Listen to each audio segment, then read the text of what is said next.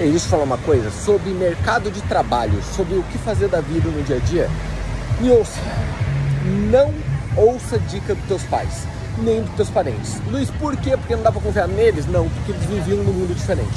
Eles viviam num mundo totalmente diferente. As profissões eram outras, os ganhos eram outros, os sonhos eram outros, os propósitos, os objetivos.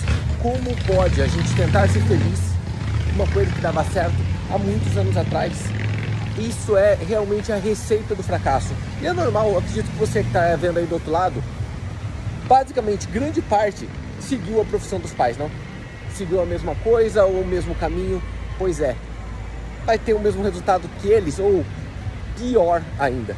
Vou te falar uma coisa. Uma coisa era você ser dentista em 1970, 1980. Outra coisa totalmente diferente é ser agora.